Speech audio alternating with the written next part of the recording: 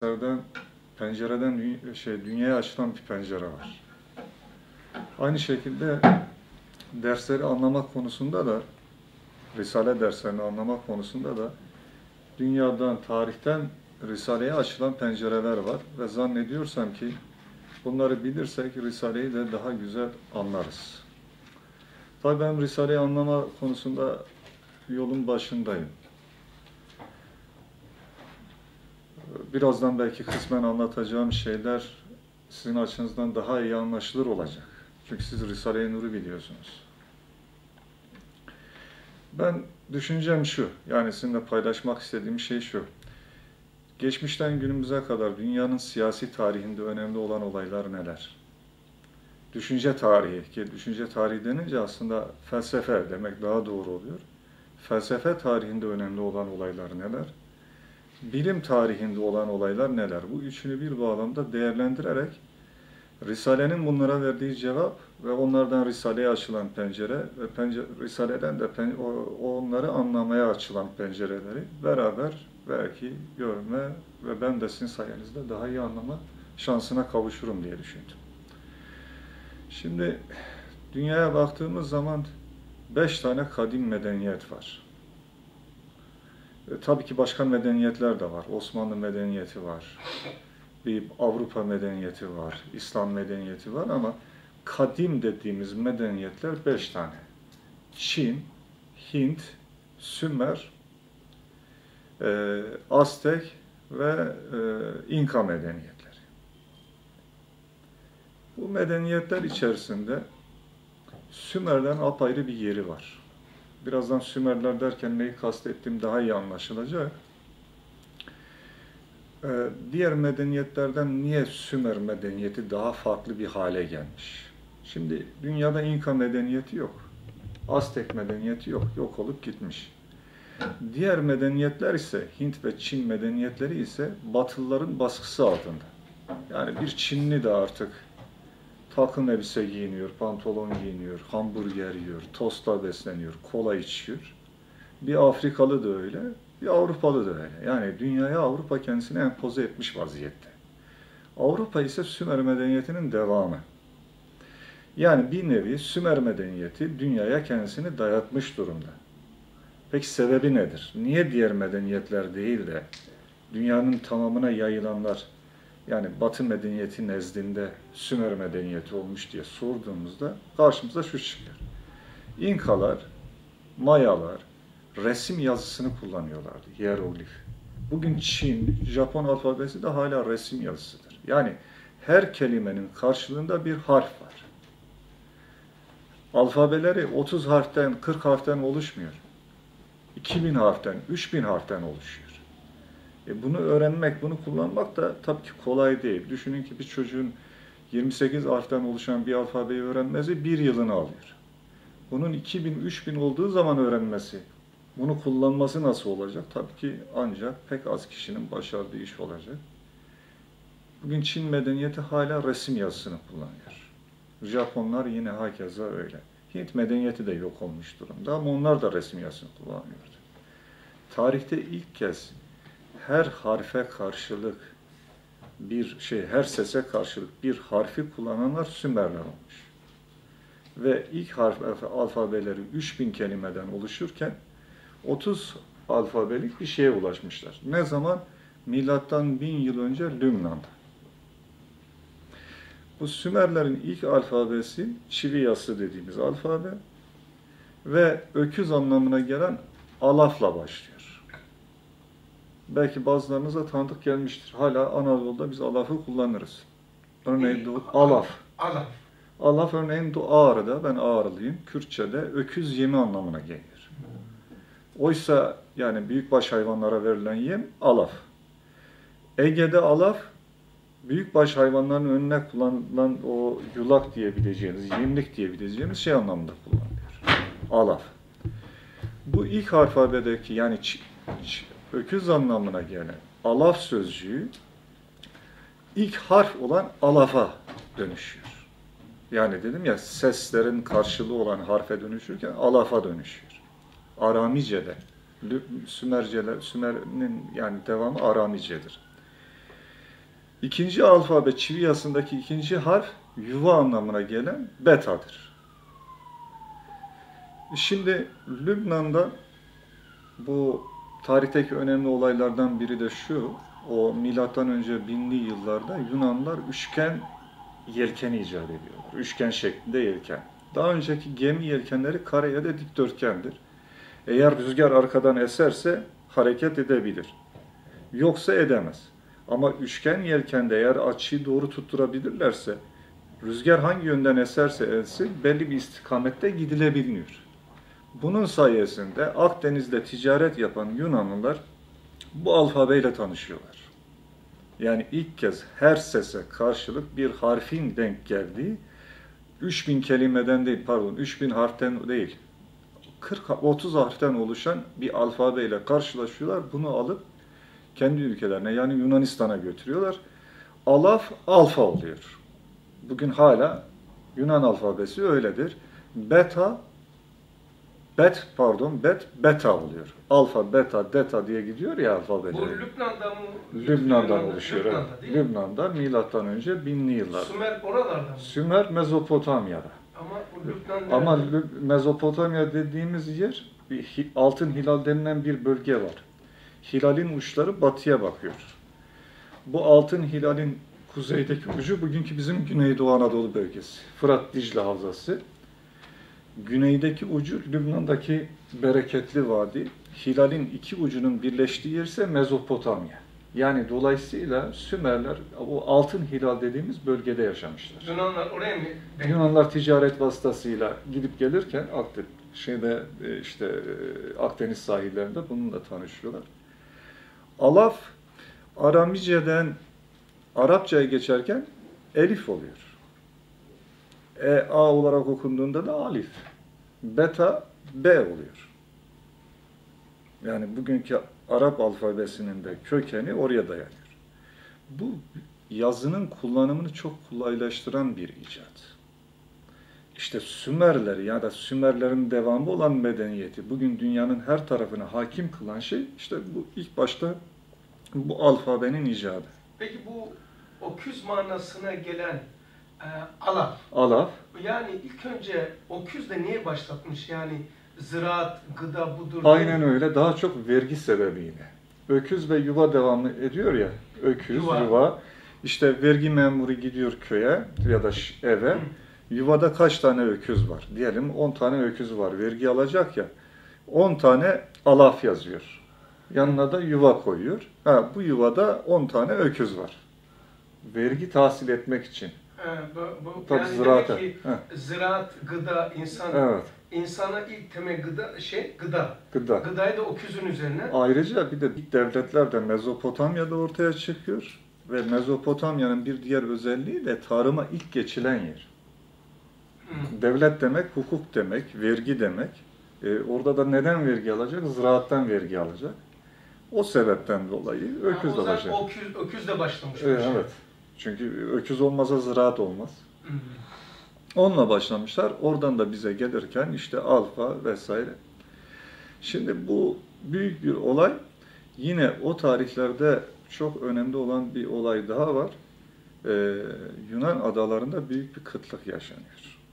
Ve bu kıtlıkla e, adalardaki insanlar Anadolu'ya çıkıyorlar. O zaman Frigyalılar var, Lidyalılar var. Küçük küçük devletler var Anadolu'da ve bunları yakıp yıkıyorlar, talan ediyorlar. Hitit imparatoru bir akının geldiğinden haberdar oluyor. Bir tablet yazıyor Mısır'daki firavunu duyurmak için. Diyor ki yani böyle böyle bir güç geliyor. Saldırıya geçmiş. Haberdar etmek için. Kil bildiğiniz kil tabletler de yaş olur. Onu kurutmak için bir kenara bıraktırıyor. Kuruyunca yola çıkartacak. Ama yola çıkmıyor. O kil hala Hattuşaş'ta. Çünkü kil yola çıkmadan bu akın gelip Hattuşaş'ı yakıp yıkıyor. Birazdan daha şaşıracaksınız. Bu akın aşağı Mezopotamya'ya iniyor. Babil devletlerini perişan ediyor. Babil devletlerini yakıp yıkıyor. Ardından bugünkü Filistin bölgesinden Mısır'a geçiyor. Firavun 4. Ramses bunu durduruyor bu akını. Bunlar durunca, yenilince Mısırlara bir kısmı adalara geri dönüyor. Bir kısmı ise bugünkü Filistin'de kalıyor. İşte o kalan halkın ismi Filistinidir. Filistinliler. Aslı Yunan yani. Aslı Yunan. Ama bugün tabii ki Arapça konuşuluyor ve Müslümanlar elhamdülillah. Şimdi bunu niye anlattım? Bu da çok önemli bir olay. Çünkü o dönemde Yahudiler Babil devletlerinde esir durumdalar. Bu akınla Babil devletleri zayıf düşünce bunlar o akından şeyden esaretten kurtulup İsrail yani dediğimiz bölgeye geri dönüyorlar. İlk Filistin Yahudi çatışması o zaman başlıyor. Tevrat'ta geçer. Hazreti Davut'un sapanla bir e, Golyat adında bir dev gibi bir adamı sapanla öldürdüğü. Öldürülen o Golyat Filistinlidir. Şimdi bunun bir diğer önemli mevzusu ise Orta Doğu'da yani medeniyetin merkezi olan Orta Doğu'da bu akın büyük bir kargaşa yaratıyor. Büyük bir kargaşa. Ve bu kargaşa neredeyse bin yıl sürüyor. Kadim devletler yıkılıyor, küçük küçük topluluklar ortaya çıkıyor, birbiriyle savaşan topluluklar. Ha demek ki Filistin ismi oradan geliyor. E, İsrail o bölgeye işte Yahudiler İsrail ya da Kenan diyor. Ama bu bölgenin daha önceki adı İlyada. İlyada ismini bir kenarda böyle tutmanızı istiyorum. Bu isim de enteresan bir isim. Çünkü bu ismin bir diğer karşılığı şey Ege'de bugünkü Çanakkale, Balıkesir bölgesinde yaşayan bir devlet vardı o dönemde. O devletin de adı İlyada. İl Allah'ın isimlerinden bir tanesidir. Hazreti İbrahim zamanında kullanılan asıl isim, en çok kullanılan isim buydu. Bugün de mesela Cebrail diyoruz. Azrail diyoruz. Mikail diyoruz. İsrafil diyoruz. Hatta şeytanın isyan etmeden önceki adı da Azazil. Yani bu işte Azrail dediğimizde Allah'ın bir şeyi demiş oluyoruz. Cebrail dediğimizde Allah'ın bir şeyi demiş oluyoruz. Yani sonundaki il. İl. Hmm. İl. Acaba ben mesela internetten araştırmaya çalıştım, bulamadım. Belki sizin sayenizde ben de öğrenirim. Bunlar neyi anlatıyor? Değil mi? Kelime anlamı olarak neyi anlatıyor? Bize Ce- herhalde Ee, Cebrail. İl. İl. İl Allah'ın ismi. Allah'ın ismi. Cebra neyi anlatıyor? Azra neyi anlatıyor? Değil mi? Yani bunu öğrenirsek bir şeyler öğreneceğiz. İbrahim Aleyhisselam zamanında mıydı? İl. İl Allah'ın ismi evet. İbrahim Aleyhisselam İl diye sesleniyor. İl. İl. Hmm. İsrail'in ya da bugünkü Filistin toprağının ismi de ilk başta İlyada. Buradan da bize bir şeyler açılacak yani bir pencere açılacak bir şeyleri anlamak için ama ben kendim şahsım adına hatta bir iki tane arkadaştan da rica ettim. Dedim ki bunlar ne demektir? Bulabilir misin? İşte Arap kaynaklarına baktı, işte Yahudi kaynaklarına baktı ama bir bilgi edinemedi. Belki sizin sayenizde ben de bunu öğrenmiş olurum. Ya bir de diğer bir enteresan şey, Ege'de bir bölgenin adı, bugünkü Balıkesir, Çanakkale ve Bursa'nın bir kısmı İlyada. Ya bu bir tesadüf müdür onu bilemeyiz ama İlyada'da da yaklaşık bu Filistinlilerin akımından yaklaşık 200 son- yıl sonra çok önemli bir olay cereyan ediyor. Bu da yine dünya tarihini değiştiren bir olay. 200 yıl sonra. Bu 200 yıl bize çok gibi görünebilir ama aslında dünya tarihi açısından fazla bir zaman değil. Ne oluyor? Çanakkale'de bir devlet var İlyada. Bunun prensi Yunanistan'dan bir kız kaçırıyor. Bütün Balkan devletleri, milletleri birleştirerek 10 bin kişilik bir ordu hazırlıyorlar ve Çanakkale'ye saldırıyorlar. Savaş 10 yıl sürüyor. Tarihteki ilk dünya savaşı. Yani Birleşmiş Milletler, Balkan milletleri bu İlyadalılar da yalnız değilmiş. Yani bunu Homeros'un destanından biliyoruz. Frigyalılar, Hititler, bilmem neler, tamam Lidyalılar da İlyada'yı destekliyor. Yani bir yerde Anadolu kuvvetleri, milletleri, bir yerde Balkan milletleri milattan önce binli yıllar ve savaşıyorlar. Bir dünya savaşı ve büyük bir kuvvet o günkü kuvvetlere göre bir tarafta 10 bin tane asker var. Bin tane de, gemiyle gelmişler. Ve işte o hani e, Çanakkale'ye gittiyseniz bilirsiniz bir heykel mevzusu şey bir büyük bir at mevzusu var. Hani Truva atı. O Truva atı hilesiyle savaşı Balkan milletleri kazanıyor. Balkan milletleri kazanıyor. Bu Balkan milletlerinin başında da yani e, Agamemnon adında bir kral var. Şimdi diyeceksin ya bize ne bu kralın isminden? Birazdan anlatınca niye bunu anlattığımı anlayacağız. Şimdi birincisine dikkatinizi bir daha çekmek istiyorum. Dünyadaki ilk dünya savaşı. Milattan önce binli yıllar yer Çanakkale Boğazı. Tanıdık geliyor mu bilmiyorum. Bir tarafta Anadolu milletleri, bir tarafta Balkan milletleri var. Türkler nerede? Türkler daha tarih sahnesinde yok. Türklerin atası Hunlar yok. Onların da atası İskitlerin olduğu söyleniyor. Daha yani dünyada Türk milleti yok. Bu savaşı Balkanlar kazanıyor. Aradan bin şöyle yaklaşık 2200 yıl geçiyor. 2000 yıl sonra Selçuklu Devleti kuruluyor ve Anadolu'da yıkılıyor. Beylikler dönemi başlıyor. Birçok beylik var. Bunlardan bir tanesi Karamanoğlu Beyliği diyor ki Anadolu benimdir diyor. Niye benimdir? Ben çünkü Selçuklu'nun devamıyım.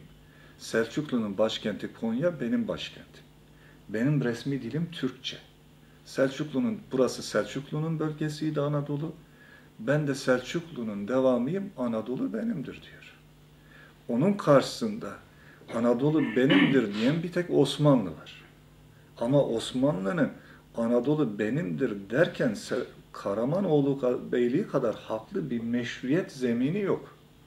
Bu yüzden daha Orhan Gazi ne yapıyor? İmparatorun damadı oluyor. Nülüfer Hatun. Bizans İmparatorunun kızı. Şimdi buradan şimdi burada bir noktalı virgül koyup ben İlyada konusuna devam edeceğim. İlyada devleti yıkıldığı zaman derler ki bir gemi dolusu insan kurtulmuş ve İtalya'ya gitmiş. İtalya'da da işte bir takım halklar var. İtalyanlar yok. Oradaki halkla evlilik bağıyla ortak bir hanedan kurmuşlar. Etrüsler. Etrüsler Roma İmparatorluğu hanedanıdır. Yani Etrüsler de Roma İmparatorluğunu kuruyorlar. Roma İmparatorluğu buraya geldiği zaman Anadolu diye diyor ki Anadolu benimdir. Çünkü diyor benim atalarım İlyadalılar. Biz İlyadalıyız, Anadolu bizimdir diyorlar. Roma İmparatorluğu'nun devamı Bizans İmparatorluğu. Doğu Batı ve Bizans İmparatoru diyor ki Anadolu benimdir. Çünkü ben Roma'nın, Roma'da İlyada'nın devamı. E peki İlyada'nın karşısında kim var? Rumlar var. Biz Bizans devletini ne devleti olarak biliriz? Rum devleti. Halbuki Bizans devletinin çatıştığı, ben Rum değilim diyor, ben Latinim diyor. Ben Etrüsküm, ben İlyadalıyım. İlyada'nın savaştığı milletim diyor. Yani burada da bir bir ışık var fark ederseniz bir şeyleri yanlış giden bir şey var, bir anlayış var.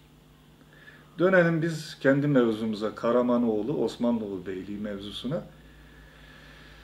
Orhan Gazi diyor ki ben diyor hayır diyor Anadolu benimdir diyor. Neden? Çünkü ben imparatorun devamıyım, damadıyım.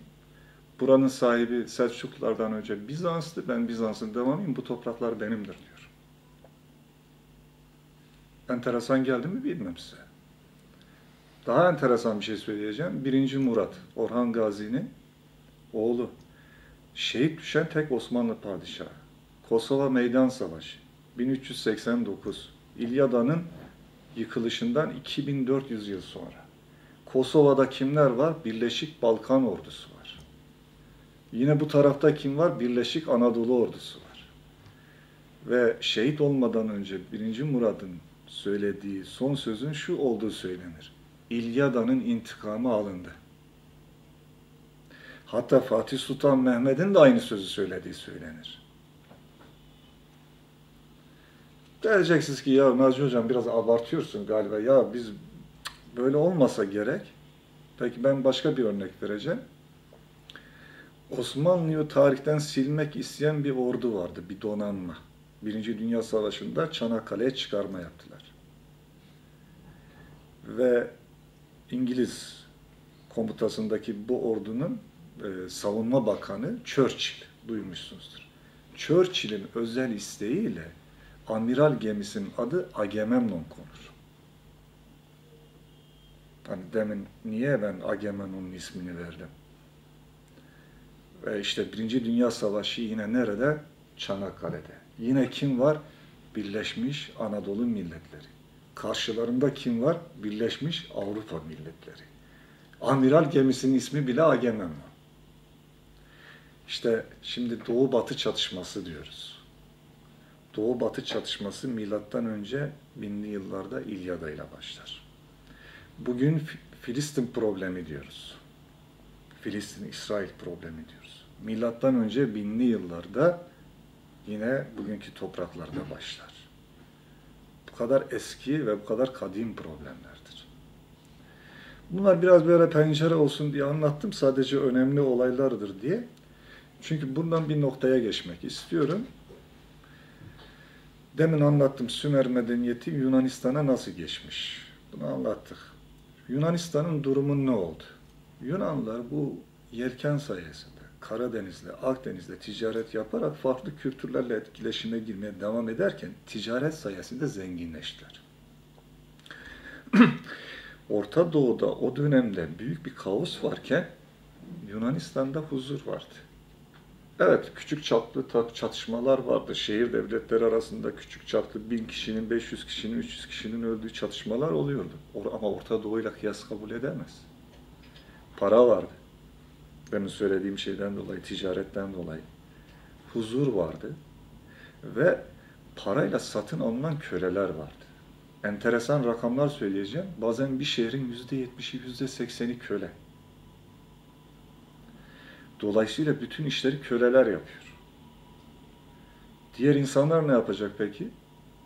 Oturacaklar, keyif edecekler, düşünecekler, bazı şeyleri dert edecekler, yani felsefe yapacaklar. İşte Yunanistan'da felsefenin başlamasının sebebi bu. Ama Yunanistan'da her şey güllük gülistanlık da değil. Çünkü çok tanrılı bir din var. Zeus var, işte Hera var, işte Ares var, bilmem şu var, bu var. Ve bunlar birbirleriyle bu Tanrı ilah kabul ettikleri birbirleriyle evleniyorlar, çocuk yapıyorlar, birbirleriyle küsüyorlar, birbirlerini dövüyorlar, birbirlerini cezalandırıyorlar, birbirlerini öldürüyorlar. Yani bunun da yol açtığı bir takım insani olaylar var enteresan. Çünkü mesela örnek bir şey vereceğim size. Ee, iki komşu Komşunun ikisi de gemiyle balıkçılık yapmak için işte balık avlamak için denize açıldı. Fırtına çıktı. Biri geri döndü, biri öldü. Ölenin yakını diyor ki senin yüzünden diyor öldü. Niye? İşte ben gördüm seninki denize açılırken Poseidon'a dua etmedi, şarap dökmedi denize. O yüzden Poseidon kızdı, fırtına çıkarttı. Senin yüz, kardeşin yüzünden benim kardeşim öldü. O da diyor ki hayır kardeşim ben geçenlerde gördüm sen Zeus tapınağına kurban sunarken hayvanın tırnaklarını sundun, yenenmez yerlerini sundun. Zeus sana kızdı, fırtınayı çıkarttı, yıldırımı senin kardeşinin başına düşürdü. Üçüncü bir kişi arayı bulacak ya, ya siz hata yapıyorsunuz şimdi ya biliyorsunuz batıda çok büyük bir ada var, orada büyük bir dağ var, orada büyük bir mağara var. Mağarada periler yaşar. Periler kapıyı açık unuttu, ceryan çıktı, fırtına oldu, bu yüzden öldü. Ya kavga etmeyin. Şimdi bu insanları uzlaştırın, bakayım nasıl uzlaştıracaksınız? Hadi. Kim barıştırabilir bunları? Kim ikna edebilir? İkna edebilmenin yolu var mı? Biri Zeus diyor, biri Poseidon diyor, biri Peri diyor, biri bilmem ne diyor. Yani her şey güllük gülistanlık dedik. Dünyanın geri kalanına ilişkin ama öyle Yunanistan'da da öyle güllük gülistanlık bir durum yok. Sadece asayiş problemleri de değil. Bazen savaşlar çıkıyor. Bir örnek daha vereceğim. Bilmiyorum sıkılmadınız inşallah. Aten, Atina'da bir veba salgını çıkıyor. Veba salgını bitiyor. İkinci sene yine çıkıyor. Üçüncü sene yine çıkıyor. Sağlık tanrısı Apollon'a inanıyorlar. Tabi başka tanrılara da inanıyorlar ama vebayı veren Apollon'dur. Bu Apollon'un da bugünkü Manisa'da büyük bir şeyi var. Tapınağı var. Diyorlar gidelim oradaki rahibelere sualım. Bu Apollon bu belayı bizim başımıza niye sardı? Tapınağın altında da böyle mazgallar var. Yeraltı gazları oradan tahliye oluyor. Ege'de çoktur biliyorsunuz böyle bir yerlerde sönmeyen ateşler vardır yeraltı gazlarından dolayı. Rahibeler o gazları kokluyorlar. Ondan sonra baygınlık geçiriyorlar. Tamam mı? bir nevi böyle bir trans benzeri bir şey. Ondan sonra sözde Apollon'la konuşuyorlar. Bunlar da gidiyorlar o rahibelere soracaklar. Veba niye var? E şimdi rahibenin öyle bir şey söylemesi lazım ki hem kendini kurtarsın hem Apollon'u kurtarsın. Diyor ki sizin Apollon'a yaptığınız tapınağı küçük yaptınız. Apollon size kızdı. O yüzden size bu belayı gönderdi. Ne yapacağız? Onu tam iki kat büyüklüğe çıkaracaksınız. Tamam diyorlar, seviniyorlar. Gidecekler tapınağa, iki kat büyüklüğüne çıkaracaklar. Sonra bir bakıyorlar, ya tapınak küp şeklinde. Şimdi küpün üzerine aynı ölçülerde bir küp daha koyarsan küpün küplüğü bozulur. Hacim büyür, iki katına çıkar. Enden, yükseklikten ve derinlikten iki katını alırsan bu sefer küpün sekiz katını almış olursun. Küpün iki katını almak nasıl mümkündür? Bugün basit bir soru. Çünkü ondalık sayı sistemi var, küp formülü var. Ama o gün ondalık sayı sistemi yoktu ki. Küp yoktu ki. Hadi hesapla nasıl hesaplayacaksın? Ama bu yine tarihteki önemli olaylardan biri. Çünkü bununla uğraşan Yunanlılar Thales'i, Thales teoremini hatırlarsınız liselerde, ortaokulda vardır. Pisagor teoremi, Pisagor'u yetiştiriyorlar bu matematik sayesinde. Atina ile komşu ülkeler içerisinde savaş çıkıyor. Niye? E çünkü bunlar tapınağı büyük yapmamışlardı ya. Apollon kızıp da Veba'yı musallat etmişti ya. E, Veba da diğer şehirlere yansıyınca bunlar dediler ki sizin yüzünüzden veba bize bulaştı. Yani anlatmak istediğim bir daha söyleyeceğim. Evet Orta Doğu'da büyük kavgalar var, büyük savaşlar var ama Yunanistan çok çok iyi durumda ama her şey güllük gülistanlık değil. İşte bu yüzden ilk filozoflar şu soruyu soruyorlar. Doğa olayları hakkında, doğa yani yağmur niye yağıyor, fırtına niye çıkıyor, deprem niye oluyor ve insan olayları hakkında, veba salgını niye var, insanlar arasında savaşlar niye çıkar, niye enflasyon var gibi mevzularda, olaylarda doğru bilgiye ulaşmak mümkün müdür? Bu soru işte yani düşünce geleneğini devam ettiren, Sümer düşünce geleneğini Yunanistan'da devam ettiren sorudur. Sor.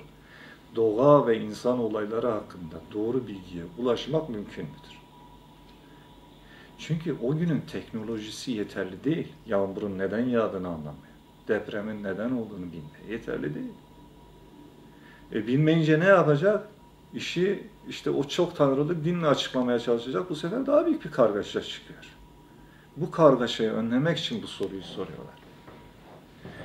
Bazısı ilk baştakiler hayır diyor. Doğru bilgiye ulaşamayız. İmkanı yok. Bazısı da imkanı var diyor. Bu tartışmadan çok zengin açılımlar ortaya çıkıyor. Eğer nasip olursa, eğer beğendiyseniz, devam etmek isteyeceksek biz oradan devam edeceğiz. İşte Yunanistan'daki felsefe, işte bu tartışmada kimler var? Duyduğunuz, Risale'den de duyduğunuz zannedersem işaret-ül geçiyordu. Ben oradan okumuştum lisedeyken.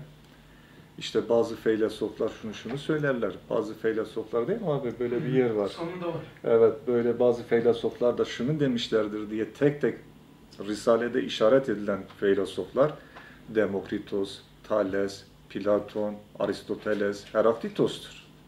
Ben felsefeci olarak o satırları okuduğumda ha bu burada bu deniyor. Bu bu falanca filozof, bir filanca filozof diye görebiliyorum. E Şimdi Yunan felsefe geleneği böylelikle ortaya çıkıyor. Dediğim gibi derse devam edeceksek ettiğimiz takdirde oradan devam edeceğiz. Fakat bir parantez daha ekleyerek ben nokta koymak istiyorum. İlim Çin'de de olsa gidiniz diyen bir peygamberimiz var.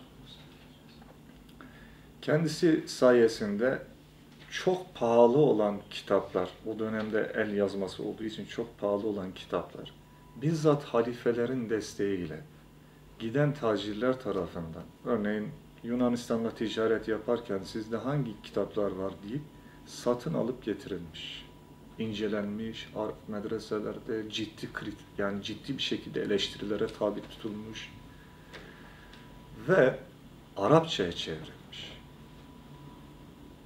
Avrupalılar Yunan eserlerini Yunancadan değil Arapçadan öğrenmişlerdir. Hiçbiri, hiçbir Yunan eseri direkt Yunanca'dan o dönemde Avrupa dillerine çevrilmemiştir. Avrupa dillerinin çevirilerin tamamı Arapçadan yapılmıştır. Yani söylemek istediğim şey şuydu. Sümerlerden Yunanistan'a geçen, Yunanistan'dan tekrar Müslümanlara, Arap bölgesine geçen, Araplardan bir kez daha Avrupa'ya geçen, sürekli gidip gelen bir alışveriş var. Bir sohbette Hasan abi demişti ki, işte eğer Hristiyanlarla Budistler, Mecusiler arasında bir savaş çıkarsa biz kimden yana olacağız demişti. Tabii ki demişti Hristiyanlardan yana olacağız. Çünkü ehli kitaptırlar.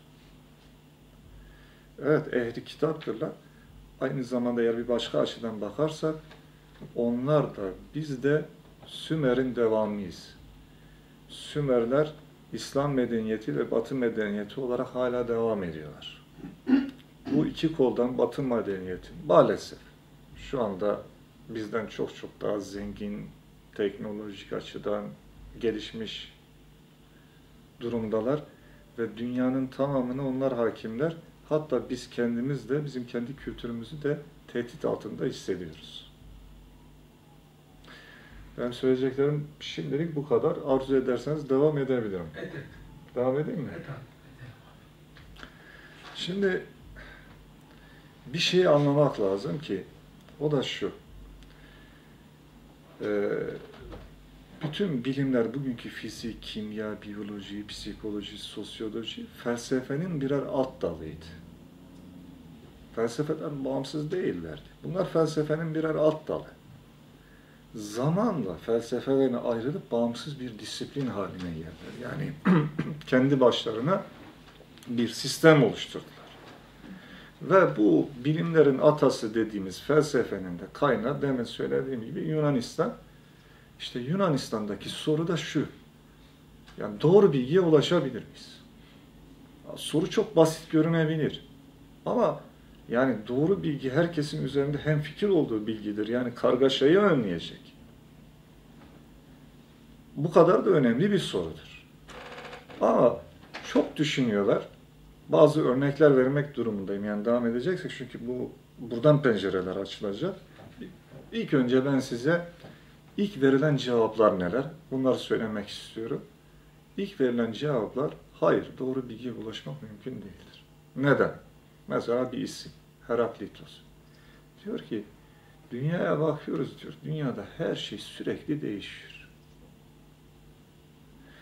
İşte mesela az önce topraktı şuradaki yeşil alandaki yer. Yağmur yağdı, çamur oldu. Çamura icabında bir usta gitti, saman karıştırdı, kalıba döktü. Çamur ne oldu? Kerpiç oldu. Kerpiçi üste koydu, duvar oldu. Duvarları bir araya getirdin, oda oldu. Odaları bir araya getirdin, ev oldu.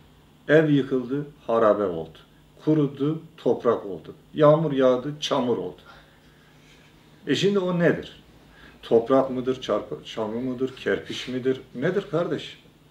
Her şey değişiyor. Değişmeyen bir şey yok ki.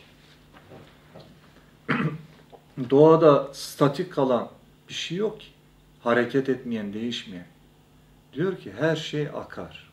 Yani her şey değişir. Aynı ırmakta iki kez yıkanılamaz diyor. Niye? Birinci kez girdiğin ırmak yıkandın, çıktın. ikinci kez girdiğin ırmak artık o ırmak değildir. Suyuyla, taşıyla, kumuyla değişmiştir. Aynı ırmak değildir. Balığıyla değişmiştir. E diyor ki her şey değiştiğine göre değişen şeylerin değişmez bilgisi olamaz. O yüzden doğru bilgi olanaksızdır.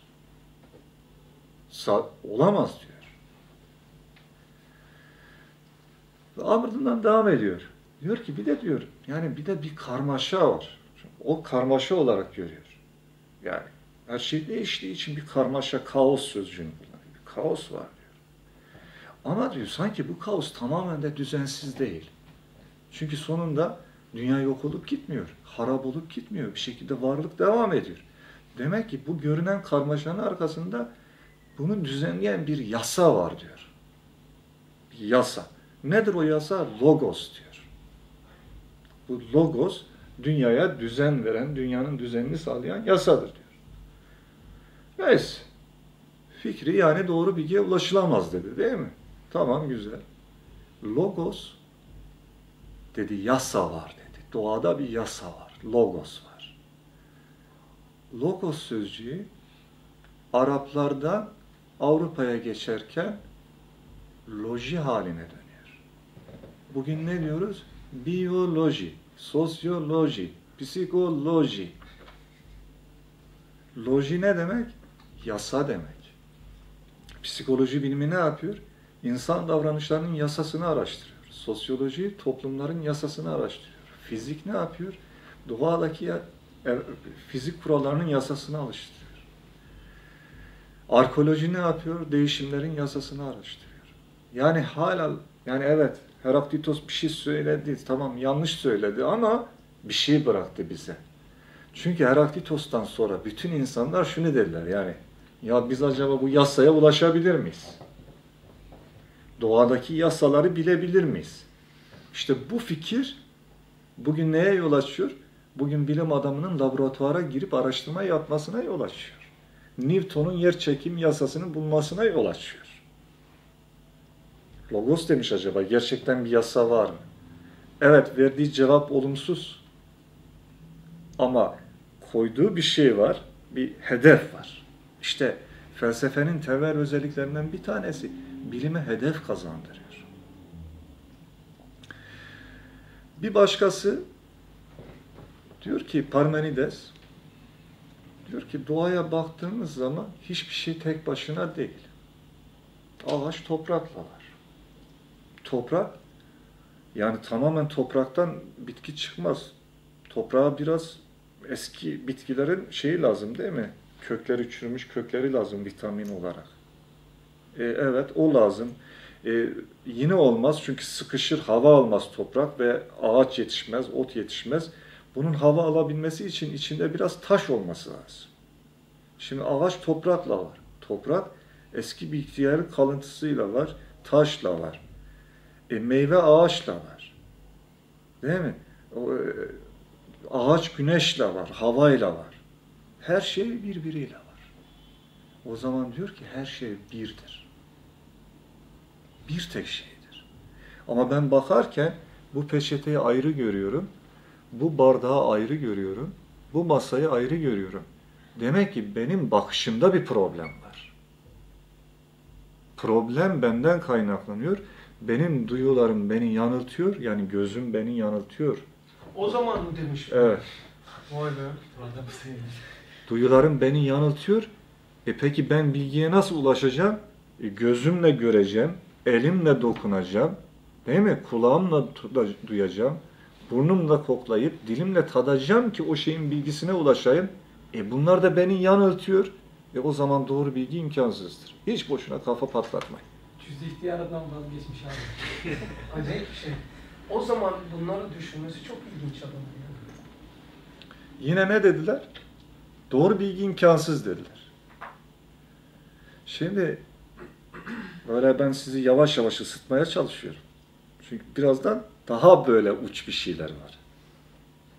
Bu uç mudur değil midir o da sizin takdirinize kalsın. Yönlendirmiş olmuyor. Zenon diye Kıbrıslı biri. Kıbrıs'ta da yine Yunanlılar var. Zenon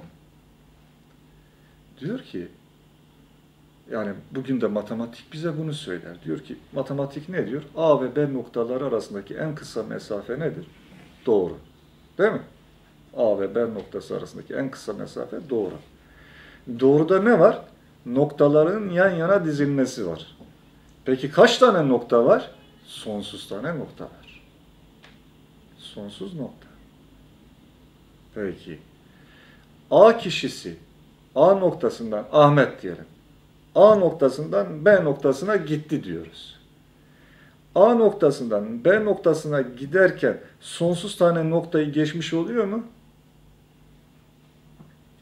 E şimdi fanidir Ahmet. Nasıl sonsuz tane noktayı geçecek? Adı üzerinde sonsuz.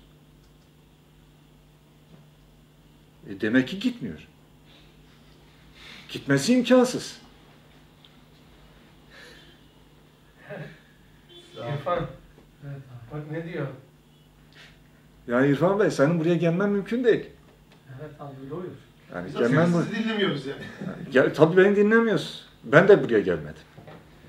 Şimdi baş, her şey geriye gitti. Ya da siz geriye hep gidemez ki. abi. Gidemez ki geriye gitsin. O zaman Ya da siz hep buradaydınız. Ya da biz hepimiz hep bir yerdeydik. Başka bir açıdan İrfan Bey'in buraya gelmesi için. İlk önce yolun yarısını alması gerekiyor mu? Yolun yarısını almadan buraya gelebilir mi? Gelemez. Yarısını aldı. Kaldı mı yarısı? Evet. O ikinci yarıyı alabilmesi için de onun yarısını alması gerekiyor mu? Aldı. Kaldı çeyrek. Çeyreği alması için çeyreğin de ilk yarısını alması gerekir mi? Evet, çeyreğin ikinci yarısı kaldı. O ikinci yarının da ilk önce yarısını alması gerekir. Bir bölü sonsuz. Bir bölü sonsuz. Hep bir yarım kalacak mı? Hep bir yarım kalacak. O zaman İrfan Bey hiçbir zaman buraya gelemeyecek. Bir bölü sonsuz da sıfırdır abi. Her şey her yerde. Yani gelemez. E, biz İrfan Bey'i burada görüyoruz. E hani gelemezdi? Demek ki gördüğün şey seni yanıltıyor. Mantıken senin gelmen imkansız. Bırakın İrfan Bey'in oradan buraya gelmesini parmağımı kapatacağım. Yani parmağımı kapatmam için ilk önce ilk yarıyı almam lazım. E bunun da ilk yarısını almam lazım. E bunun da ilk yarısını almam lazım. Bunun da ilk yarısını almam. İlk yarı, ilk yarı, ilk yarı deyip parmağımı kapatmak kıpırdatamam bile. E ama kapattım. Ama geldi. Ama geldik. E görüyoruz. Yok kardeş. Yanılıyorsun. Onun öğrencisi Georgias. Devam ediyor bu düşünce. Diyor ki bu bardağın fabrikadan buraya gelmesi imkansız olduğuna göre gelmemiştir. Bu bardak burada yoktur. Bu masa burada yoktur. Bu bina taş olarak, çimento olarak, kum olarak bir yerlerden bir yere gelip inşa olmadı mı? E, gelmediğine göre olmadı. Şu stadyum bir yerden buraya malzeme olarak gelmedi. Ya stadyumun toprağı o da bir yerden ge- gelmedi. Hiçbir şey yoktur.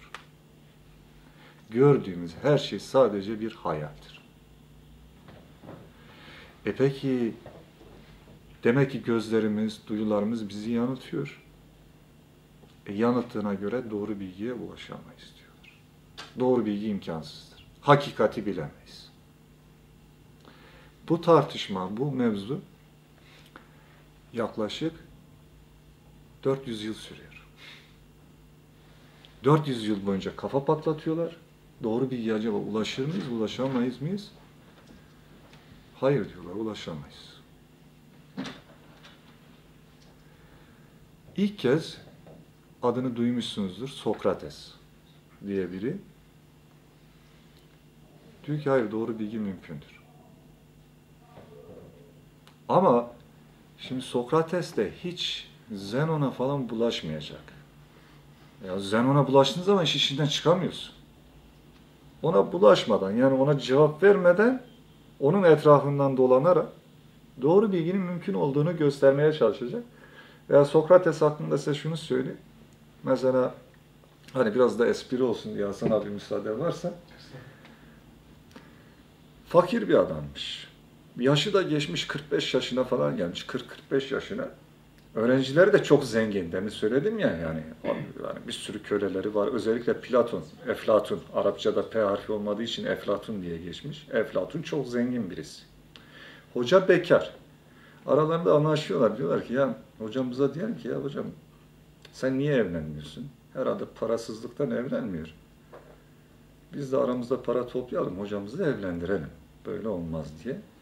Gidiyorlar hocaların yanına. Hocam işte niye evlenmiyorsun falan diye sorunca bekliyorlar ki hoca desin ki para yok oğlum.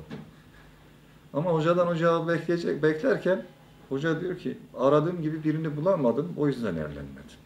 E, hocam yardımcı olan nasıl birini arıyorsun? E diyor ki hem çirkin hem huysuz birini arıyorum. Hem çirkin hem huysuz olmalı. E, niye? E diyor güzel ve iyi huylu bir kadın kocasını mutlu eder. Çirkin ve huysuz bir kadın kocasını filozof eder. Abi milattan önce binlerdeyiz değil mi şu an? Hayır 400'lerdeyiz. Sizler demiş tamam. 300'de 3. yüzyılın ortaları. Sokrates, yalın ayak Sokrates. Belki işte filmlerde şurada burada görmüşsünüzdür. Böyle Atina'nın merkezinde bir tepe var. O tepenin üstünde de işte o Athena tapınağı, Apollon tapınağı dediğimiz tapınak var. Oradan merdivenlerle bir meydana ilinirmiş. İşte Atina meydanı. Okul yok. O dönemde henüz okul icat edilmemiş. Orada böyle öğrencileriyle volta atarak, bir kenara oturarak sohbet edermiş. Bir gün birilerinin dikkatini çekiyor. Yani Sokrates sürekli böyle gençlerle beraber acaba diyorlar ki yani bu Sokrates bizim gençlerimizi yani yoldan çıkartır, işte bize karşı kışkırtır mı? Hani pek öyle bir adama da benzemiyor ama biz buna bir gözdağı verelim ki ayağını denk alsın. Sırf yani gözdağı vermek için.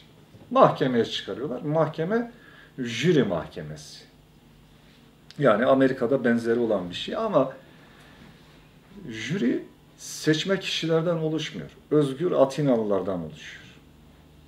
Bütün Atina toplanıyor böyle bir stadyum gibi bir arenaya. Herkesin bir oy hakkı var. Bir hakim var. Sanık yargılanır. Jüriye sorar. Oy kararına göre ya beraat ya ceza verilir. Bütün Atina'nın bir oy hakkı var. Özgür Atinalı ama köleler değil.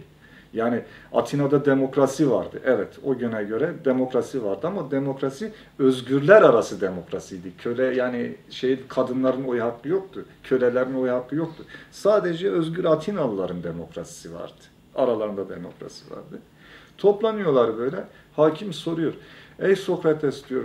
Yani sürekli gençlerle berabersin. Yoksa sen bu gençleri bizim atalarımızın dininden uzaklaştırmak mı istiyorsun? Yok diyor, öyle bir derdim yok. Peki diyor sen ne yapıyorsun bu gençlerle? Diyor ben felsefe yapıyorum. Felsefe nedir? Filozofun yaptığı şeydir diyor. E filozof nedir? Ha filozof nedir?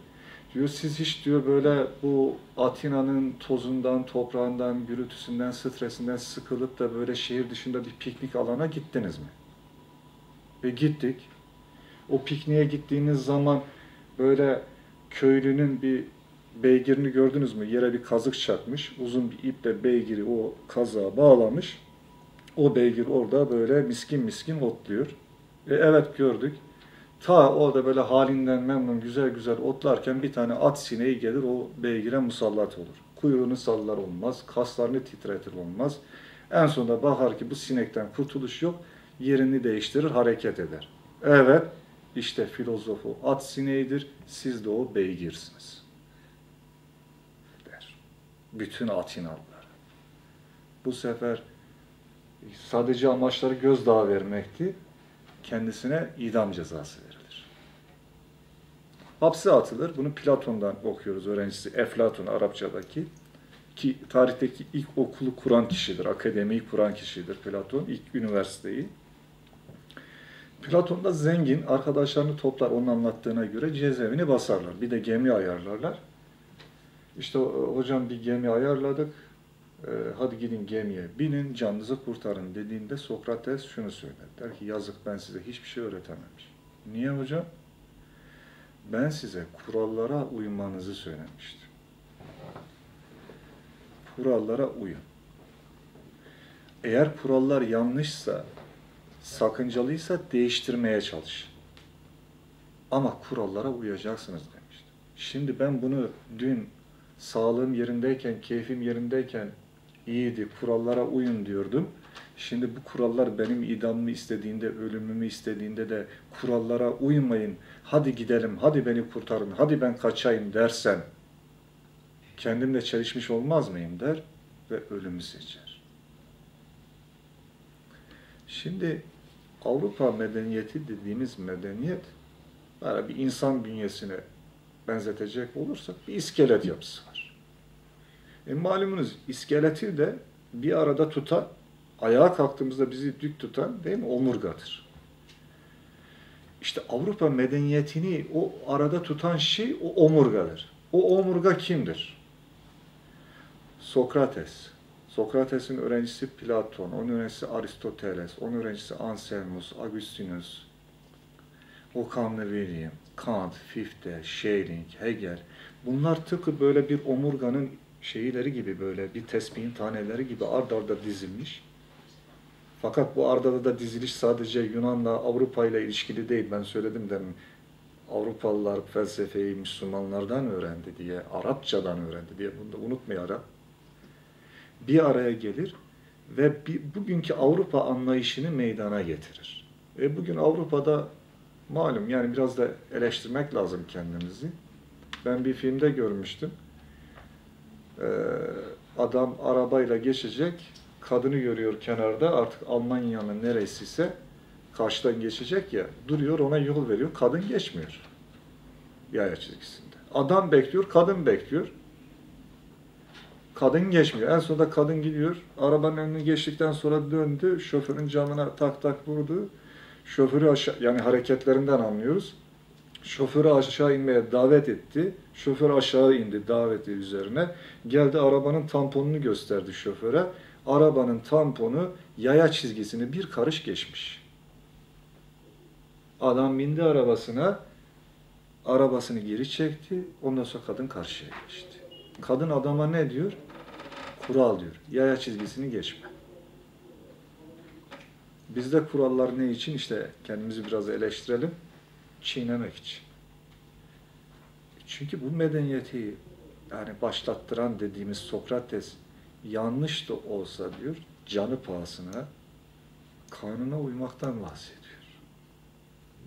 Bu e, Aristo üçüncü kuşak mı? Aristo da Platon'un öğrencisi. Platon yani Eflatun. Eflat. Arapçada Eflatun. Eflat. Çünkü evet Arapçada Bazı şeyler deniyor ya Aristo başta Sokrates, Sokrates talebesi diye geçiyor. Hayır. Sokrates, Sokrates'ten sonra Platon, Platon'dan sonra Aristoteles. Bunlar mesela diyelim Demokrit de var. ben Evet. Demokritos da var, ilk materyalist.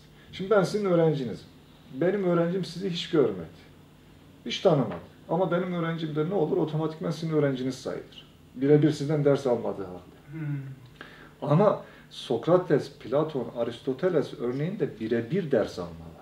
Ha, Aristo direkt mi almış? Yok ya hayır, Sokrates, Aristo direkt Platon'dan, Platon da direkt Sokrates'ten ders almış. Ha, yani Aristoteles Sokrates'ten direkt almamış. Evet, Platon'dan almış. Ama Platon. sonuçta onun öğrencisi sayılır. Hmm. Demokrit de Yunanlıydı. Evet. İlk ateist, İlk materyalist. materyalist, Ateist demek doğru değil. Materyalist. materyalist. Yani din hakkında ne düşündüğünü bilmiyoruz ama aşağı yukarı ateist olduğunu tahmin edebiliriz. Fakat materyalist. Madde Maddeci. esas alıyor. Maddeye esas. Aristo'da e, sebepleri esas alıyor, öyle mi? Yok, o biraz daha karışık. Sebepler de var da sebepler sadece bir tanesi. Evet. Zaman, sebepler derken mesela fail neden, gail neden, eee, formal neden, bu tür sebepleri alır. Onları biraz daha böyle ayrıntılı inşallah devam Eflatun, edelim. Eflatun Rusçu biraz. Rusçu, varlığı ikiye ayırır onlara da. Evet, Eflatun'un öyle bir özelliği var. Evet. Sokrates'in önemli olan şu nokta, yani işin kopma noktası 800 yıl boyunca, ya şey 400-500 yıl boyunca hepsi doğru bilgi olanaksız derken, Sokrates doğru bilgi olanaklıdır diyor. Nereye dayanıyor, ne gösteriyor peki? O- Ha, oraya gelecektim ben de. Hı. Biraz böyle şey olsun diye ben şeyden bahsettim. Sokrates'in bu yaklaşımında yani hani sıkıcı bir ders olmasın. Amacımız neydi? Felsefe, bilim, siyaset hep beraber değil mi işlemek? O yüzden böyle Sokrates'in o tarafına kaydım ki hem sıkıcı olmasın diye. Sokrates şunu söylüyor. Diyor ki insan aklında bakın yine duyular değil. Duyuların yanılmadığını hiç göstermiyor. Demin dememiştim ya zen ona hiç bulaşmıyor etrafından dolanıyor. Duyularımızın bizi yanıltıp yanılmadığına hiç bahsetmiyor. Oraya hiç değinmiyor. Duyuları esas almıyor. Diyor insan aklında doğuştan gelen bilgiler vardır. Bu sayede doğru bilgiye ulaşırız. Doğru bilgiye sahibizdir. Bunlar bize doğuştan gelir. Biz doğduğumuzda zaten bu bilgilerle dünyaya gelmiştir. Özür dilerim. Hani oradan ben bir Evet. şey, şey yapmak istedim. Bir yere götürdü beni. Evet. Şimdi bu Sokrates e, o duyular bizi yanıltıyor, hiç dokunmadı. Evet. Etrafına dönüyor ya. Evet. Bugünkü şeyi hatırlattı bana. Matematik profesörü var. E, Tan Tanrı Yanılgısı diye kitap yazan. Dankis miydi nedir? e, bir tane şu anda meşhur, gündemde. Hı. Şu anda dinsiz birisi. Yani ateist birisi. E, matematik profesörüdür. Ve ta- Tanrı yanılgısı diye bir kitap yazmış. Hani bu etrafında dolaşıyor bir şey. Şimdi çok ilgimi çekti. Aynı adam bunu yapıyor. Kendi matematik profesörü, matematikçidir. Ek olarak profesörlükten hariç merak salmış felsefeye. Sonra felsefede epey ilerlemiş ve kitap yazıyor. Tanrı yanılgısı, yanılgıdır diyor. Fakat kitabında şunu anlatıyor. Diyor ki, Tanrı'yı kim yarattı diyor. Hı hı. Mesela bir kere kabul ediyor otomatik olarak Tanrı'yı. Yani bu kalemi kim yaptı, bu kalem kimindir sorusunda bir kalemin varlığı ispat ediliyor. Şimdi ben başka bir şey diyeceğim de bununla alakalı. Ee, Tanrı'yı kim yarattı diye soruyor. Kendi esas mesleği olan matematiği kim ortaya koydu sormuyor. Hı hı. Matematiğin kaynağı yok, etraftan dönüşüyor. Evet. Matematikle hiç Tanrı inkarına gidemiyor. Çünkü matematiğin realitesi yok ya, vücut Evet, harecisi evet, yok. evet. Şeylerden dolaşıyor, fizikten etraftan dolaşıyor. Aynı onu, onu hatırlattı. Hayır ben şimdi onu o ben duydum şöyle bir duydum bir söyleşide bir doçent şunu söyledi. Yani bu Tanrı Yanılgısı adlı kitapla ilgili ben kitabı okumadım bilmiyorum. Dedi ki yani tam kelime kelime belki hatırlayamayacağım ama aşağı yukarı şunu söyledi. Dedi ki eğer bir Hristiyan dinsiz olmak istiyorsa bu kitabı okusun. Ama bir Müslüman da dinini kuvvetlendirmek istiyorsa bu kitabı okusun. Yani böyle bir cümle. Çok, ama hoşuma da gitti bu cümle. Evet. Bir Hristiyan, bir, birazdan ben hani evet Sümer'in... Ama biraz şey bileceksin. Evet. Ee, Dinini ucunu- bileceksin. Dinini bileceksin. Dinini bileceksin. O zaman kuvvetlenir. Evet. Mesela matematik 5 tane elma diyoruz. Elmayı kaldırırsanız 5 yok olmaz. Ha, 5 hala duruyor. Aynen öyle, vardır. He. Fakat e, maddeyi ortadan kaldırırsanız fizik yoktur. Evet. Ki mesela kimya mesela. Şimdi Allah kim yarattı sorusunu soruyor. Matematik kim yarattı sormuyor. Çünkü lanet ama bütün fenler de bunun üzerine kurulmuş. E, şeyin etrafında dönüyor böyle. Matematiğin etrafında dönüyor. Kendi İşte- kendi mesleğine İşte sormuyor. akla mukayyet olmak lazım. Evet. Yani. Şimdi devam et sen. Evet. özür dilerim. Şimdi Sokrates diyor ki insan aklında diyor biz hepimiz bilgiyle dünyaya gelmiştik fakat doğum sırasında bir travma, bir şey yaşadık, unuttuk. Ama diyor eğer doğru soruları sorarsak biz doğru bilgiye ulaşırız. Bu Sokrates mi diyor? Sokrates diyor. Doğru İlginç. soruları sorarsak. Doğru soruları. Sorarsak hatırlarsın. Kime Bilmek soracağız so- doğru soruları? kendimize, He, kendimize. güzel aferin ona. Kendimize soracağız. Eğer doğru soruları sorarsak hatırlarız. Sormamız lazım. Şimdi fakat dünyada doğru bilgi olanaklıdır diyen bir o var. Diğerleri, diğer filozoflar doğru bilgi olanaksız diyorlardı ki bunların çoğu tartışma sanatı, retorik üzerine ders veren, para kazanan insanlar aynı zamanda.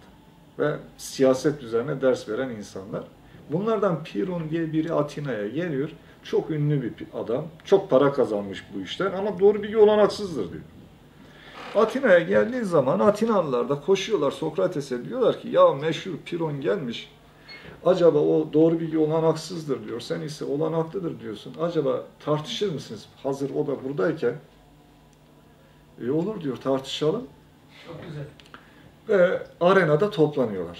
Şimdi Piron demin söylediğim gibi çok zengin, kendine ait kölesi var, işte atı var, şusu var, busu var. Sokrates ise çok fakir bir adam. İki filozof karşılaşıyorlar. Piron böyle alaysı bir dille diyor ki ya Sokrates diyor. Duyduğuma göre doğru bilgi olanaklıdır diyormuş. Hadi bana doğruluğundan en emin olduğun bilgiyi söyler misin diyor doğruluğundan emin olduğum bir bilgiyi söyle. Şimdi Sokrates kalkıp dese ki bu bardaktır. Hani eminiz değil mi? Yani Hı hı. diyecek ki ya duyularımızın bizi yanılttığı ortada. Bazen rüyayı gerçek zannediyoruz. Değil mi? Bazen bu bardağa kaşığı batırdığımız zaman onu kırık olarak görüyoruz. İşte veyahut da bir başka yöntemle, Zenon yöntemiyle bu bardağın burada olması için hareket edip gelmesi lazımdır. Burada bardak yok kardeşim diyecek. Sonuçta bu bardaktır fikrini demin söylediğimiz yöntem ve tekniklerle çoğu şey yapacak. Çürütecek. Ve ardından diyecek ki bak sen en emin olduğun şey neydi? Bunun bardak olduğuydu. E, e, bu da değilmiş demek ki bilgi imkansız diyecek. O yüzden soruyor. Doğru olduğundan emin, emin olduğun şeyi söyle. Onu bir şekilde çürütmek için yani duyuların seni yanıltıyor bundan emin olamazsın diyebilmek için. Sokrates de diyor tamam diyor söyleyeyim diyor. Bildiğim bir şey varsa hiçbir şey bilmediğimdir. Acayip. Şimdi bu çok dehşet bir söz. Neden? Şimdi birazdan daha iyi kavrayacaksınız. Şimdi Piro'nun derdi ne? Piro'nun derdi Sokrates'in emin olduğu bilgiyi çürütmek. Değil mi? Öyle değil mi? Şimdi adam ne diyor? Bildiğim tek şey hiçbir şey bilmediğimdir. Şimdi adam kabul etse Piro dese ki tamam Sokrates hiçbir şey bilmiyorsun. E o zaman bir şey biliyor. Ne? Hiçbir şey bilmediğini biliyor. Sonuçta bir şeyi biliyor. Demek ki doğru bilgi olan aklı. E tersini söylerse yok Sokrates sen çok şey biliyorsun dese e demek ki Sokrates çok şey biliyor. Sokrates yine haklı. Demek ki doğru bilgi olan haklı. Yani bunun hangi tarafını bu cümlenin olumlusunu da alsanız Sokrates haklı çıkıyor. Olumsuzunu da alsanız Sokrates haklı çıkıyor. İsterseniz bir daha tekrar etmem isterseniz edeyim. Gerek Yok, var mı? Anlaşıldı. Ya enteresan bir cümle. Şeye benziyor. Peygambere Yahudi gelmiş. E, ne derse suç olacak. Kurmaya getiriyor. Ya Muhammed bu benim rızkım mıdır? Yok dese atacak.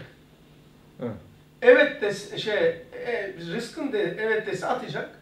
Yok rızkın değilse rızkın değilse atacak. Rızkın e, ise atacak. Rızkın değil Değilse dese yiyecek. yiyecek. Evet, İkisi de suçlu şey yani. evet, tersi. Tersi oluyor. Peygamber diyor ki aleyhissalatü vesselam yersen rızkındır yemezsen rızkın değil. işte. Aynen Yahudinin Peygamber Efendimiz'e yapmak istediği şey gibi Evet. Sokrates de aynen Piron'a cevap veriyor ama Piron da anlıyor yani ne dese şey çıkacak. Yani tuzağa düşüreyim derken tuzağa düşüreyim Piron fark ediyor. Diyor ki dönüyor alay etmek yolunu seçiyor. Ey Atinalılar diyor yani diyor bula bula diyor cahil olduğunu kabul eden bir adamı mı çıkarttınız karşı? Firavun'a bak ne zekiymiş ya. E bunlar filozof abi. Ama acayip ya. Hakikaten Evet. Firon ya. pi- Pire Evet. gibi adam. Ama bak bu karşıma cahil bir adam. Evet. Allah Allah. O anda çözümü buluyor. evet. Çözümü öyle buluyor. Ne diyor bir de söyle abi. Yani diyor dönüyor Atinalılar artık onu kale almıyor. Dönüyor Atinalılara bula bula diyor bu yani cahil olduğunu kabul eden bu kadar cahil birini mi çıkarttınız karşıma? Şimdi sıra Sokrates'te. Değil mi şimdi? Sokrates ne diyecek? Sokrates diyor ki Atinalılar diyor Piron haklı. Piron haklı. Doğru mu? Ha, haklı.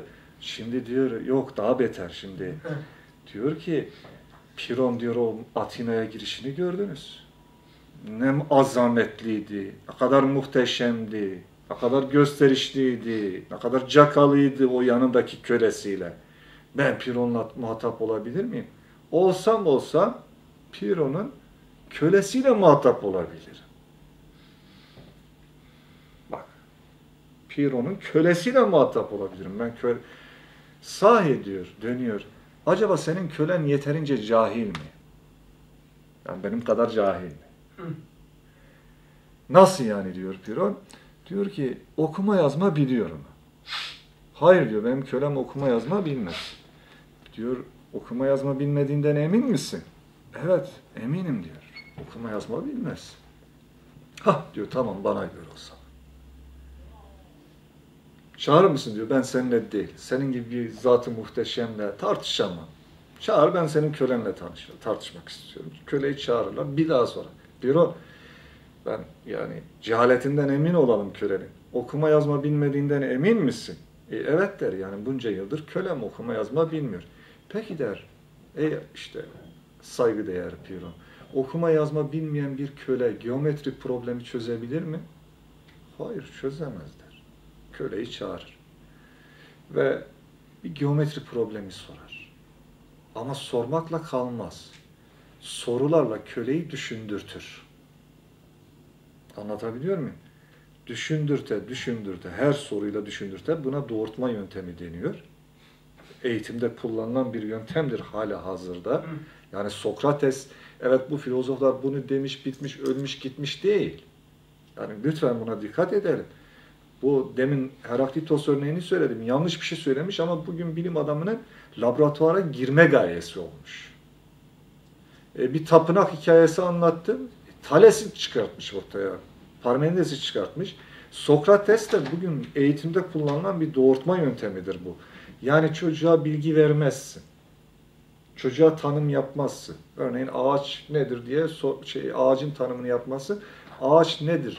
İşte ağaç şöyle yapıyorsa, ağaç böyle yapıyorsa, ağaç şunu verebiliyorsa diye düşündürte düşündürte çocuğa ağacın ne olduğunu belletirsen buna doğurtma yöntemi deniyor. Bunu kullanan ilk kişi Sokrates. Sokrates de köleye doğurtma yöntemini kullanarak soru sora sora en sonunda geometri problemini çözdürüyor. Pirona diyor ki bak gördün mü diyor. En cahil insanda dahi doğuştan gelen bilgiler mevcuttur. İnsan bunu unutmuştur. Eğer doğru soruları sorarsak bunları hatırlarız. Doğru bilgi olanaklıdır. Sokrates'in getirdiği bize Peron orada tabii kabul ediyor mu? e, e, şimdi kabul ediyor mu etmiyor mu'dan ziyade artık orada Piron'un sağlanacak bir şey kalmıyor. Hı. Tuzağa düşmüş oluyor. Sokrates İslam'ın başlangıcını başlatıyor orada. Tartışmanın dışına çıkmış oluyor. Tartışma artık köleyle Sokrates arasına girmiş oluyor. Ee, ve önemli olan orada değil mi? Sokrates'in iknası. Evet.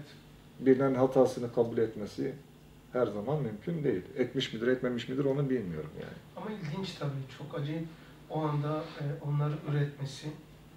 Yani insan, ben Sokrates'e zatına değil de insan sistemine kafam çalışıyor ya.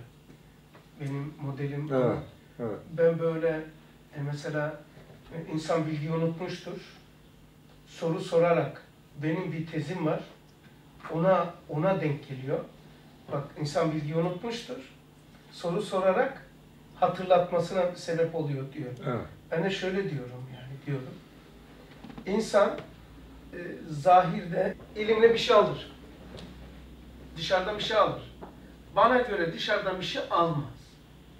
Dışarıdaki şeyle içerideki uyanır. Hı, e, aynısı. Aynısı. Yani Sokrates'in de söylemek istediği şey bu. Ve e, niçin ona vardım? İnsan e, yapısı itibariyle, mahiyet itibariyle kainatın çekirdeği var. Evet. Kainatta ne varsa insanda vardır. O bir sebeple ortaya çıkması lazım. Ona o sebep oluyor gördüğü şey. Yani mesela diyelim Evet. ki toprak, güneş, hava, su çekirdeğin hakikatin ortaya çıkmasına, gözükmesine sebeptir. Yoksa çekirdeği inşa etmede bir şeyi yok. Yani program itibariyle bir katkıları yok. Oradaki gizli hakikatin ortaya çıkarıyor. İşte bilgi anlamında dediğiniz anda bilgi anlamında. Yani bu bilgi, bu nesne bendeki bana bir bilgi vermiyor, bendeki bilgiyi uyandırıyor. Uyandırıyor, dışarıya çıkartıyor. Tad alma Dediğim gibi değil mi evet, Hasan abi? Heraklitos, Tad alma, yani. Sokrates'le yani en az yüzde yetmiş, yüzde seksen Tad alma gibi Evet. evet. Mesela e, elmayı ağzımıza süreriz, dilimize süreriz. Dil de sinirsel itibariyle elektriksel dönüştürür ve lezzet mekanizmasına bu elektriksel impulsler gönderiliyor. Orada var olan kabiliyet de ortaya çıkıyor. Şimdi şey dediniz elektrik, güzel bir şeye temas ettiniz. Şimdi hani Zenon ve Georgias demişti ya, yani bu burada yok. Sen buraya gelemezsin. Değil mi? E peki geldiğini görüyorum. Ya da işte İrfan Bey'in geldiğini gördüm. Hayır görmedin kardeşim. Sadece senin beynine 2 volt elektrik gönderildi. E, elime aldım dokundun. Dokunmadın kardeşim. Bu yok ki dokunasın. Senin beynine 2 volt elektrik gitti. Dokunduğuna dair. İ- İçtim tadına tatmadan. Beynine 2 volt elektrik gidince sen tattığını, gördüğünü, işittiğini zannettin. O burada yok ki. 2 volt elektrik. Şimdi ben bunu liselerde anlatırken şu örneği veriyorum. Beyninizi çıkartsak, işte diyorum Antalya'da kumların üzerine bıraksak, ama beyninizle vücudunuz arasında iletişim devam etse, beyniniz kendisini nerede bilir? Hemen atlıyorlar. E kumların içinde. Hayır, burada bilir. Burada bilir. Duyguları neredeyse Kendini orada kendi bilir. orada bilir. Kendini orada bilir. İşte der ki ya nasıl ben kumların üzerindeymişim. Hadi oradan ya ben Bursa'nın soğuğunda işte İstanbul'da yağmur yağıyor ben üşüyorum. Ne kumu ne Antalya'sı kardeşim. Aha sen karşımdasın. Aha işte e, e, Zeytinburnu stadyumu karşımda. Ben Antalya'da Antalya'da değilim. Ya işte görüyorum ya Zeytinburnu stadyumu. işte ben İstanbul'dayım. Hadi şimdi o beyni anlat ki Antalya'da kumların üzerindedir. Anlatabilir misin? Anlatamazsın. Ah, anlatamadığın gibi Sokrates işte Zenon ve Georgias'ın dediği de bu. Anlatamayız. imkansızdır diyor. Ya hadis-i şerif buna bakıyor. Diyor ki insanlar rüyadadır. Ne rüyadadır şimdi? Ha, Nasıl anlatacaksın şimdi? ha işte bak aynen bunu söylüyorlar. Söylenen bu. Evet. İnsan rüyadadır. Böyle bir Bir- sana yani şeydir. Evet. sö- Sözünüzü kesiyorum. Sanal gerçektir. Sanal virgül gerçektir. Gördüğümüz şeyler rüyadır. İşte Üstad da şöyle diyor. Çok güzel bir yorum getiriyor bu şeye. Bunların hepsini bilen zaten. Evet. Çünkü öteleri bildiği için ben yerde işlenen hadis günahlar Ali misalda temessüllerini görüyorum diyen Üstad. Diyor ki Aynı zamanda yine sözünüzü kesme Evet. özür dilerim. Üstad bunun çok ciddi eğitimini almış medresede. Evet bu şeyi değil mi? Fes? Tabii. Çok ciddi eğitimini almış. O üç, ay, üç aylık şeyinde. Onları okumuş. Şimdi eee diyor ki bu alem misal biz bir kere yanılgı e, hata şuradan oluyor yanılmamız. Hayali hayal zannediyoruz. Heh, Mesela sırrı sır zannediyoruz. evet. İsmi bu yani. Hayalın hayal ismi hayal. Ama kendisi hayal değil. Bir hakikattır. Ama bir koltuk gibi değil. Evet. Yani bir taş gibi değil. O zaman biz ona nispet ederek hayali hayal zannettik. Oysa esmanın bir mertebesidir. Rüya da bir hakikattir. Ama bizzati böyle kürek aldın, kum doldurdun, çaktın, gittin, geldin cinsinden değil. Yer çekimi kanunu yok orada. Mesela muayyenleşme kanunu yok. O hayal dünyası, hayal dünyası buna göre hayaldir ama o da bir gerçektir o alemde. O en güzeli şu. Sizin verdiğiniz bir örnek var. Adamın rüyasında köpek ısırmış. Evet. Ya E şimdi Ben- kalkmış kolu ne? aynen öyle. Köpek dişlerinin izi. Aynen dişi dişi izi ve hanımı da görüyor. Peki şimdi bak dön. Demin söylediğimiz şey. Bu bardak yoktur. İrfan Bey burada değildir. E işte burada. Hayır burada değil. Beyne 2 volt elektrik gitti. Bu bardak burada yok. E dokundum elimde. Hayır elinde yok. Senin beynine 2 volt elektrik gitti. Ne oldu? Bu hayaldir dedi. Gerçek değil değil mi? Bu hayaldir. Gerçek değildir dedi değil mi? Eşeği Şimdi- hayale soktu. Yani. Ha eşeği hayale soktu. E, dön tersinden o rüyaya bak. E hayaldi. Rüya görmüştü. Köpek onu ısırmış. E ne oldu kolu? Sabahleyin. Rüyada köpek ısırıyor belki duymamış arkadaşlar var. Ee, Rüyada köpek ısırıyor. Bunu şeyle de anlatayım. Isırıyor. Bağırarak uyanıyor. O bağırma anında uyandığı için köpeğin izi kalıyor. Eğer bağırıp sonra şey yapsa daha sonra uyan veya rüya tam ısırırken ısırmadan uyansa olmayacak. Olmayacak. Mesela neye 2 benziyor? volt elektrik gitmeyecek. Gitmiyor. Mesela beynin şöyle özelliği var. Yukarıdan düşüyor, yere çakılırken uyanır insan. Evet. Eğer uyanmayıp yere çakıldığını bilse, beyin kendisini doğru zannettiği için rüyada ölür. Kilitler. Şimdi rüyada bunlar hiçbirisi e, buraya göre kıyas edince ayrı bir mertebedir. Hayal değil. E, bu anlatılan o mantık yanılgısı veya eşya arasına şey. Bu da dediğim mantık doğru ama esmanın bir mertebesi. Oysa bardak var. Şimdi esmanın mertebelerine işte hayırlısıyla bir sonraki derste eğer isterseniz Onu ondan sonraki evet, yani ama şey... Ama öyle bitirelim ki kafada şey evet, kalır. Evet. Yani öyle Üstad diyor ki varlık hayal değildir. Mevcut mevcuttur. Vücuda haricisi vardır. Mertebeler arası kıyaslanınca ortaya çıkan mantık çıkıyor. Varlık kıyaslanıyor. Bu mantığa göre böyle yaparsan hakikaten ama realitesi var. İşte bundan Sokrates'ten sonraki filozoflar bunu diyecekler. Öyle mi? Ha, tamam. Esmam, esmam O zaman başka bir gün inşallah şey yaparız. Burada peki. El Fatiha.